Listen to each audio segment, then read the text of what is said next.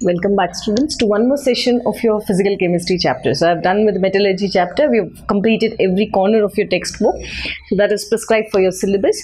And uh, after that I've done the board questions of your metallurgy chapter. Now I'll be starting with this chapter. So uh, please uh, note basically your inorganic chemistry P block and DNF block. You have all sorts of reasoning questions. Let us discuss the index first and I'll try to complete this chapter along with the board questions. So let us see the index. So when we come back to DNF block elements for your grade 12 exam, the weightage for this chapter is 5 marks. So 5 marks is the weightage for this chapter and you will be getting one long answer from this. So you have essay 1 type, short answer type 1, short answer type 2 like that isn't it?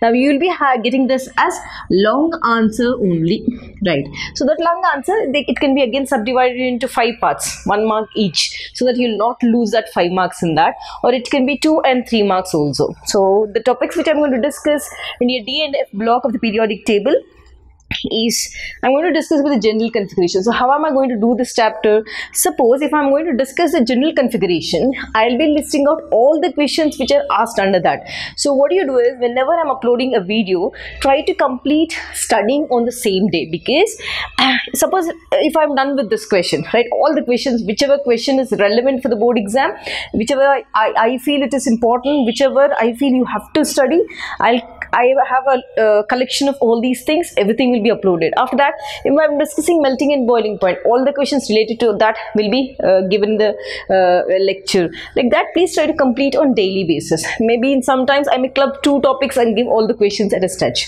So let us start. So in D and F block, as we know in the periodic table, which is divided into S block, P, D and F, right? So this particular topic of D and F, your transition metal elements, yeah, and the inner transition metal elements, we are going to study the general configuration and you have list of trends for this. You'll be studying about the melting point, boiling point. Again, questions on that. Atomic size, ionic size. How is it uh, increasing or whether it is decreasing graphically as well as questions also. Then oxidation state, very important topic. We'll see how many sorts of oxidation states and you'll have a lot of questions based on that. Next, ionization enthalpy. We'll be studying the trends of ionization enthalpy 1, ionization enthalpy 2. Why is this less in that? Why is that more in that? Why what uh, what is the reason for uh, its decrease in ionization enthalpy two everything I'll be doing and next electrode potentials. I'll also tell you based on these electrode potential how can I decide whether the particular metal is a reducing agent or not? So I'll teach that concept also. Formation of interstitial compounds. Simple topic it is. And alloy formation that also. Combination of two metals uh, two, two or more metals forms alloys isn't it?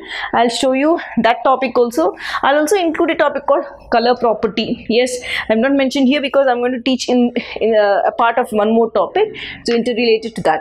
After that you have two important compounds of dnf block which you have to study and they've been asking this every time. So what are those? We are going to study about potassium dichromate and potassium permanganate. I'll teach you the preparation of dichromate and KMnO4 i'll teach you what are the properties chemical properties of both. Clearly ionic form also. So very keen observation is very important and i request you to study on daily basis. Otherwise i will be completing it and uploading the videos so that they should not be i think we should not lag in the syllabus. Yes. After that i'll come back to the f block elements. F block are again divided into lanthanides and actinides. Lanthanides the element the elements which are placed below the periodic table. So lanthanides we're going to study and about actinides we're going to study the general topics like electronic configuration what is penultimate shell, what is the outermost shell, or what is the uh, where is electron entering. And we'll also be studying about atomic and ionic size trend? This is the topic where you're going to study lanthanide contraction. Very easy question, but very important question in F block. Lanthanide contraction and actinide contraction also we're going to study. And after that, I'll be studying the teaching you the variations in oxidation state. Once this is done, we'll come back to the chemical properties of lanthanides and actinides. I'll give you in the form of a flow chart so that it is easy for you to remember. Then comes the differences between lanthanides and actinides. Very simple question. And once I'm done with this topic, once I feel that every question has reached you and every question, uh, I, if I feel that every, okay, the child has upgraded himself to himself or herself to the board exam, this is done. Till then, I'll be doing all the questions in all the topics. And important thing, once I'm done, as you know, my way of teaching, I'll be completing with the board questions also, right? So let, let me meet you again with the the first topic, electronic configuration, where I'll be doing all sorts of important questions which are required for your board. So meet you again in the next session that is your lecture 1 of your DNF block elements.